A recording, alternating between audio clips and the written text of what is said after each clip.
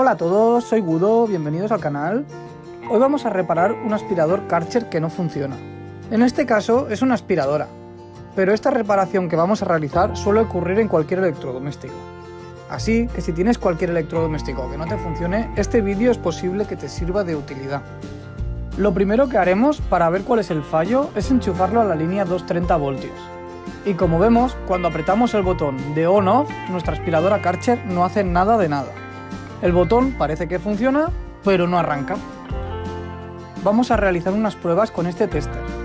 Este tester es bastante barato y fácil de utilizar. En la descripción de este vídeo te dejaré el enlace por si te interesa hacerte con uno, ya que es una herramienta que ayuda a detectar la fase de la instalación con solo acercar el tester a los cables eléctricos. Conectado a la corriente, haremos un seguimiento con nuestro tester desde el enchufe hasta donde entra dentro del electrodoméstico. Esto es un fallo que muchas veces un aparato eléctrico no funciona, ya puede ser una aspiradora, una plancha, un Turmix, etc. Es muy, pero que muy posible que sea nuestro cable eléctrico el que esté en mal estado. Mirando con el tester, llegamos al final del aspirador y parece que el cable está perfectamente, pero si movemos y apretamos el cable, la Karcher funciona. Así que ya sabemos dónde está el fallo. Es un fallo eléctrico y tiene bastante fácil reparación.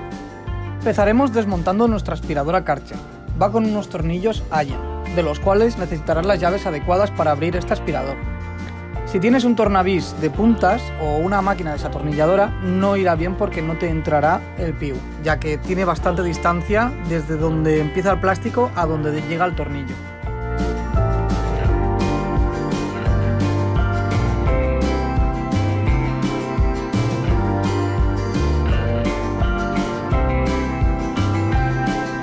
Cuando tengamos todos los tornillos quitados, abriremos la tapa con mucho cuidado. Todos los electrodomésticos tienen muchas patitas de plásticos y tiene todo su forma, de manera que al quitar las tapas nunca lo forzaremos.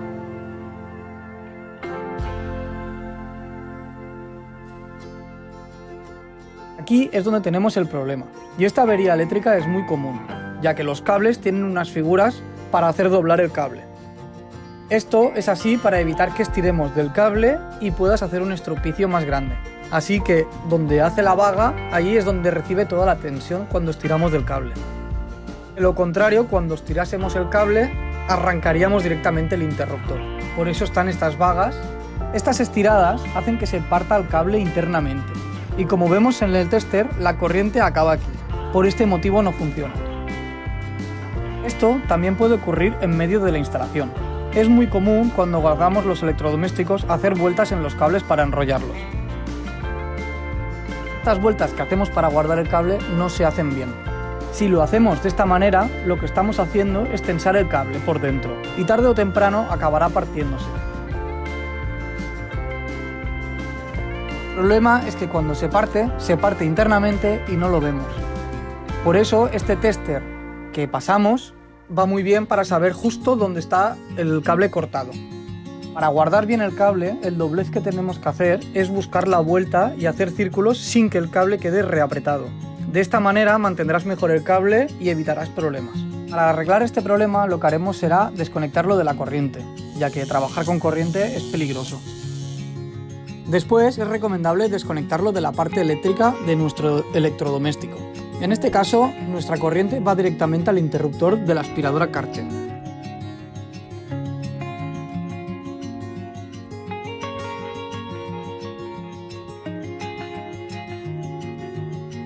Una vez tengamos el cable suelto, buscaremos en donde tenemos el cable partido y cortaremos el cable por ahí.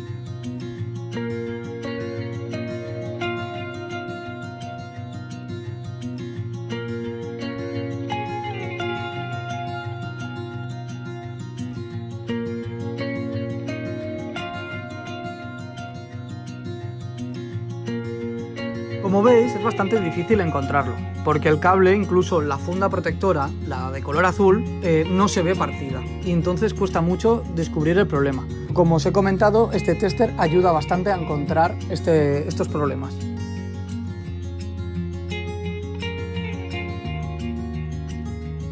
En nuestro caso, como donde va conectada eléctricamente la aspiradora, va con unos Faustons, lo que haré será aprovecharlos ya que un usuario normalmente en casa no suele tener Faustos ni grimpadora.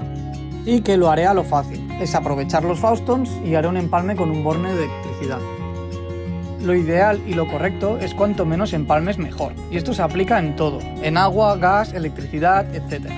Así que lo ideal sería cortar el cable en el punto roto y perder, ese, en este caso, los 30 centímetros de cable.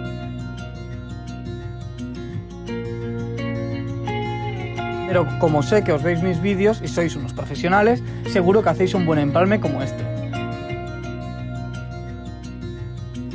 Dos regletas separadas, el cable bien pelado, los juntamos bien apretaditos y apretamos los dos tornillos.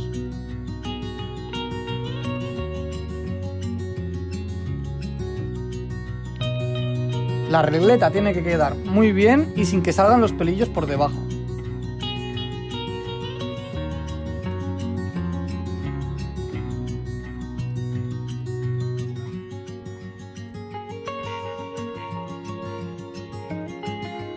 También, si se quiere, se puede aprovechar y cambiar todo el cable para hacerlo más largo o más corto o lo que queráis.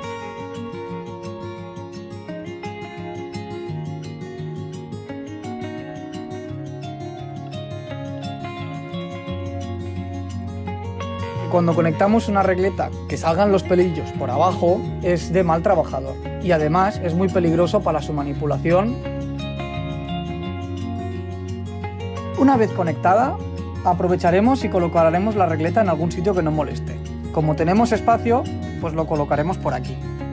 Cerraremos nuestro aspirador Karcher y volvemos a repetir, sin forzar nada, ya que hay muchas pestañitas que van bien colocaditas.